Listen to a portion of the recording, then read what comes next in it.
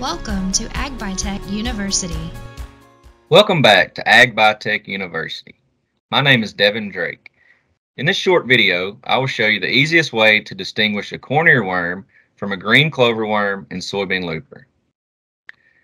When we're identifying the difference between a corn earworm and a green clover worm and a soybean looper, the easiest way to do this is to look at what we call the prolegs.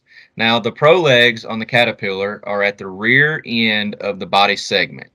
Um, and as you can see in this picture, a corn earworm has four sets of prolegs.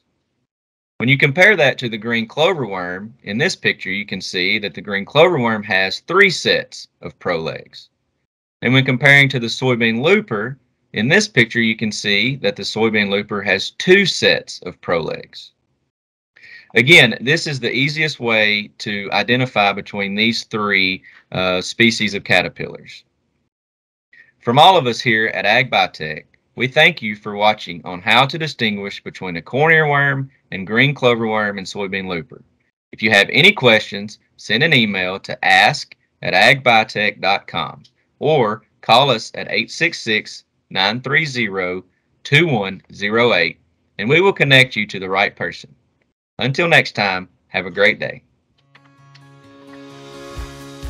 Learn more at agbitech.us forward slash university.